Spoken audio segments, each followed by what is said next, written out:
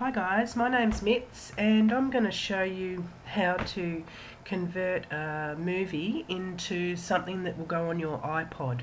Okay, um, just for an example, um, my daughter's got an iPod Touch, so that's um, what I'm going to convert it to. So, what I'm going to do first is I need to get um, this program. It's called Any Video Converter. Now, um, to save you going through, you know, all the search and all that trying to find it, um, there should be a link to my website um, just to the right of this video. It's tips4pc.com. Okay. Um, now, just bear in mind that I do change the website, like the design, every now and then because I get sick of it. So it might look a little bit different, um, but it's basically it'll you know, basically be the same. So this menu will stay the same, it just might be a different colour. So what you could do is go to the home menu and press on freeware section.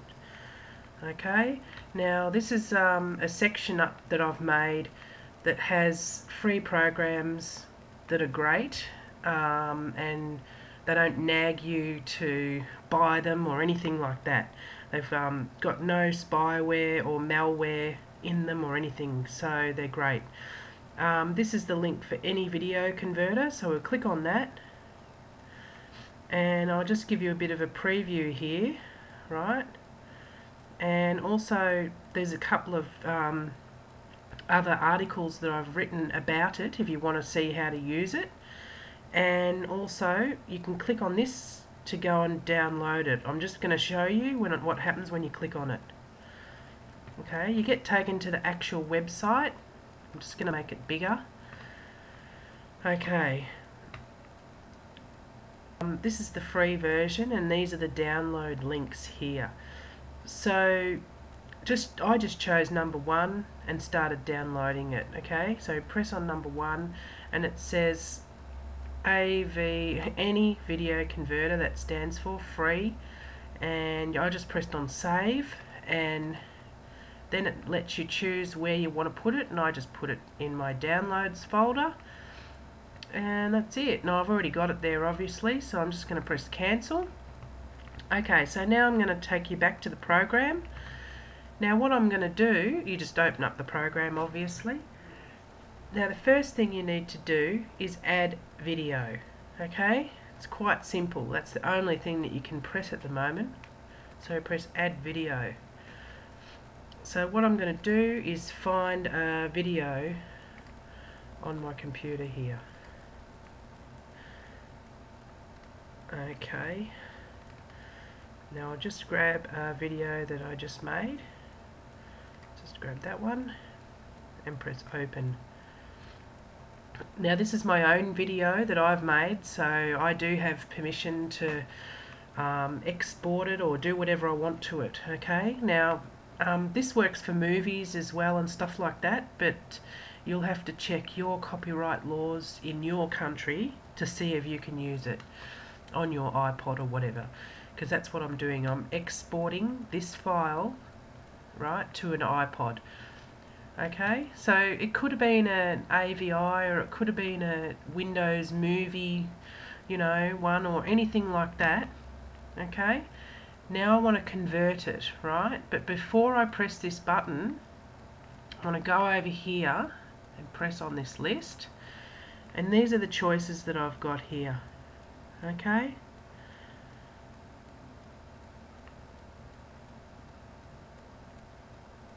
Now you can press on mobile phone one.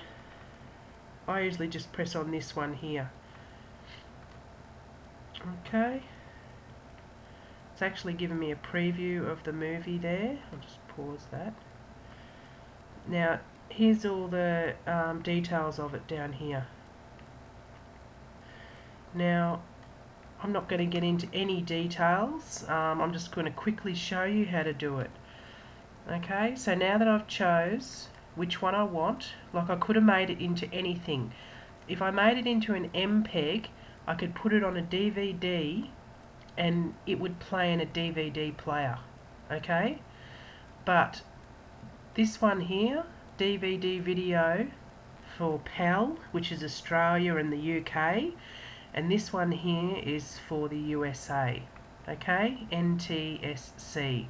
So we're not compatible. So I'm in Australia, so I wouldn't make an NTSC. Okay.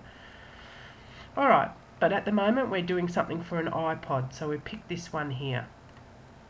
Now we've got to go over here and we make sure that this is ticked and everything's right. So we've got the movie and we want to make it into an MP4 and we're going to press convert. Okay, so what it's going to do is convert that movie.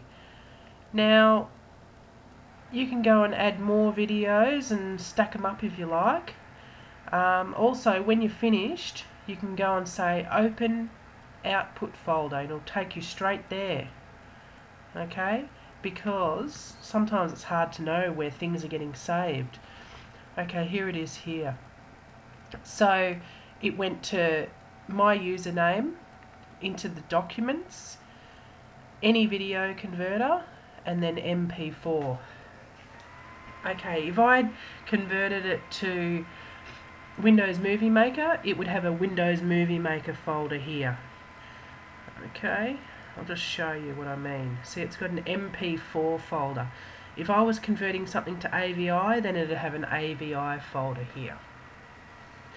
Now, I'm not going to show you how to put that on your iPod because if you've got an iPod, you should know. Usually you use iTunes and stuff like that.